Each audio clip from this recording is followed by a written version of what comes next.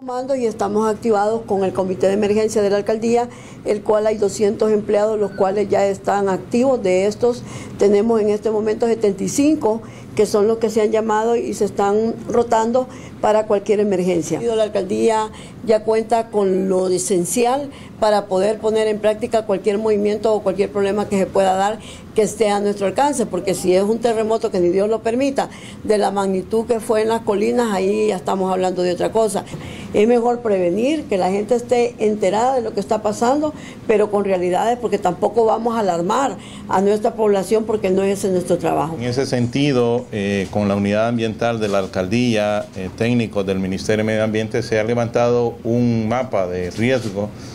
dentro del municipio y los puntos que podríamos tener nosotros, así como que un poco críticos,